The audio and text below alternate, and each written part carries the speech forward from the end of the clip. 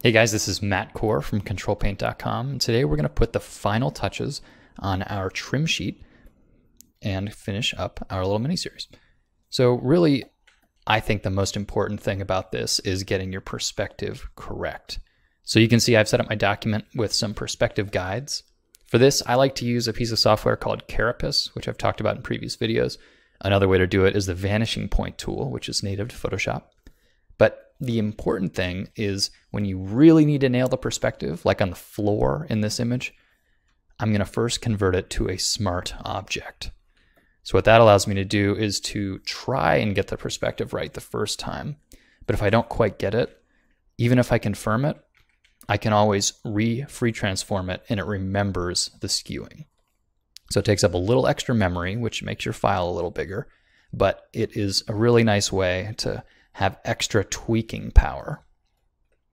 Because in this image, I want a detail in the center of my floor. And I don't want to have to do that perspective twice. Let's say I got it, you know, just perfect, exactly the way I want it. So another nice way to do this would be to just open this image, because remember, a smart object is its own document. And then I'll just bring my trim circle here into the center of the floor, hit save, and there you can see it's in my image. Now this uh, indicates that I've got my perspective a little bit wrong, but that's not a problem.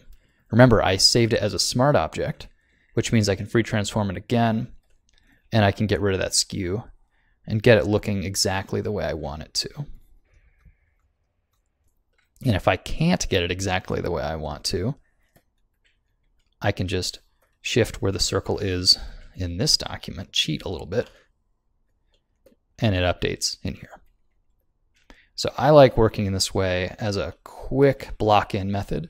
I don't necessarily keep them as smart objects for the entire time I'm working, but it's a great way to get started. So once I'm happy with that, the next thing is to make sure that I'm integrating it into my image. And so for that, I like to make an empty mask and then painting with black. I'll just hide away where I don't need it. But that's it. I'm going to do that with a bunch of different images. And that's where the beauty of this trim sheet comes in. Now that I've got it all laid out, I can just sort of mix and match. Think what might look cool here. So for this trim piece, I am going to make it a smart object first. Get this in place here. Now for this one, you notice there's a problem. I want this to conform to the bend of the wall. So for that, I'm actually going to rasterize it. It's no longer a smart object.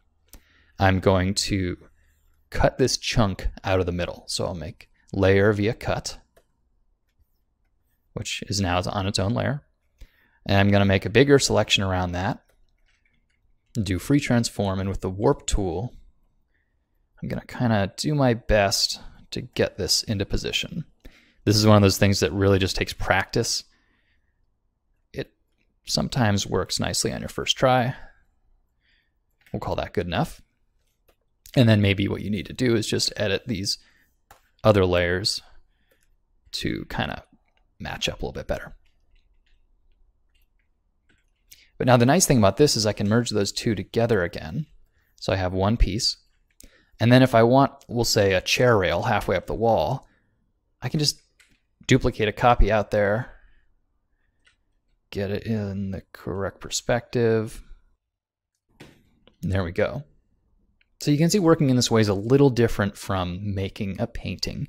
I'm essentially using photo collage skills and photo manipulation skills instead of, you know, brushwork and fine drafting. But if what we're doing is making images, this is an efficient way to do it.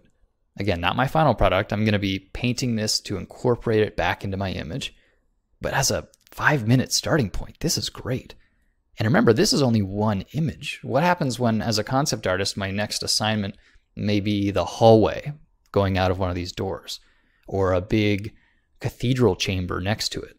Well, there's probably going to be some architectural overlap. All these little details you might see in the other room. Now, it may have a totally different layout and a totally different camera, but to have these details on my trim sheet is a great starting point. So I encourage you to get out there, make a trim sheet, and just experiment with this. It's one of those techniques that doesn't necessarily make sense until you've tried it yourself. So have fun with it. Thanks for coming to the site, guys.